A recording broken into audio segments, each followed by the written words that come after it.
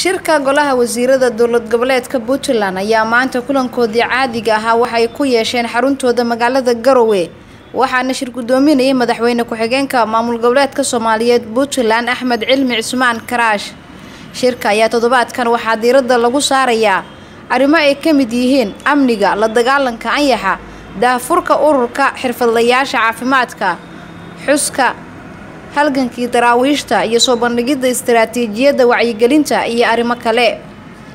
Wasiirka wasaaradda warfaafinta isgaarsiinta iyo dalxiiska dowlad goboleedka puntland cali xasan axmed ayaa warbaahinta waxa uu u faahfaahiyey qodobadii ugu muhiimsanaa ee looga hadlay shirka maanta. Maanta oo bishu tahay taariikhdu lix iyo toban bishii janawari laba kun iyo labaatan.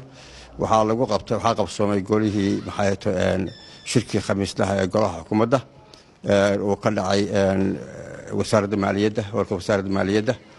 Waxaa lagu lafaguray shirkaas khamiislaha oo sida caadiga ahaa arrimaha amniga oo maxay ahayd wasaaradda amnigu ka soo jeedisay. Amniga wadankuna waa wanaagsan yahay waana xasiloon yahay. Wasaaradda maxay ahayd deegaanka beeraha iyo iyo isbeddelka cimilada iyana waxay ka warbixisay oo laga dhigaystay maxay ahayd arrimaha ayaxa oo in badan maxay ahayd deegaanka puntland dhibaato ku hayay. Iminkana ka soo cusboonaaday hadda gadaal ga soo cusboonaaday gobolka gardafuug iyo la dagaalanka ay wasaaraddu kula jirto iyo xukuumaddu. Waxaa la yidhaha koronkorada uu kaga taga meesha iyo sida maxay ahayd aalado wasaaraddu ay isticmaalayso loogu isticmaalaya in lagu dabargooyo isagoo marba soo noqonaya kii horena xagga sacuudigu laba goor ka yimi kana dalka yeman buu ka yimi. Marka kaasi wuu duulaa waa gudbaa midna wuu ku dhalaa. Wasaaraddu arrimahaasay ka warbixisay.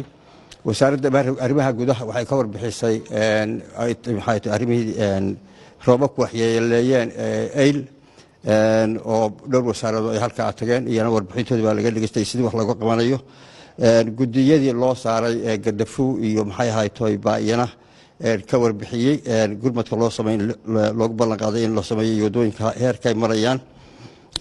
Wasaaradda caafimaadka ayaa iyana waxay ka warbixisay ururka xirfadlayaasha wasaaradda caafimaadka. Iyana daafur lagu sameynayo. Maxay ahaytoy arinta wasaaradda warfaafinta iyana waxay soo gudbisay waxaa la yidhaahdo istaraatiijiyada wacyigelinta oo iyana galuhu xukuumaddu iyana ay soo akhriyeen khamiis dambe la isku soo noqonayo.